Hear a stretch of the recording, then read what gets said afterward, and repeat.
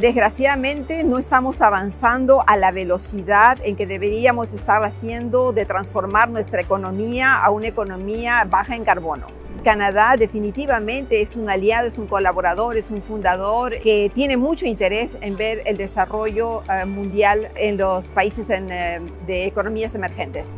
El calentamiento global es el tema de urgencia y esto por muchas razones. Una de las razones principales es que los países que han contribuido lo más poco al, problema del calentamiento global son los que están sufriendo más. El Banco Mundial es un banco multilateral como otros bancos multilaterales que se están dando cuenta de que este impacto de la destrucción de infraestructuras esenciales debido a los eh, eventos climáticos extremos, pues va a traer mucha pobreza, inestabilidad, problemas de democracia, problemas de refugiados.